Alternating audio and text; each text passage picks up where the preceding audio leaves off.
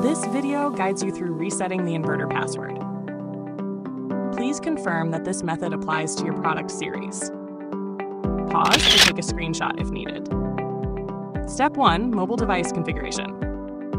Turn off both WLAN and mobile network services. For Android users, disable mobile data. Open the FusionSolar app and select Commission Device. Stay on this page.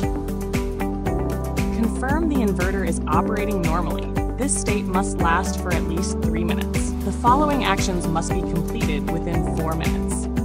Perform the first power off. If the inverter is connected to energy storage, disconnect the storage switch.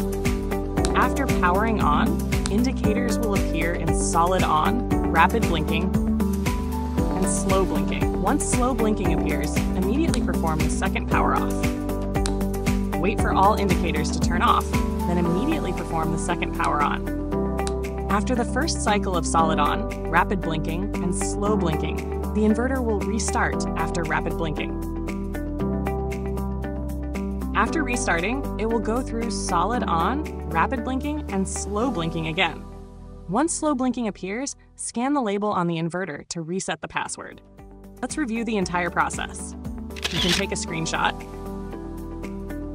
re-enable WLAN before scanning.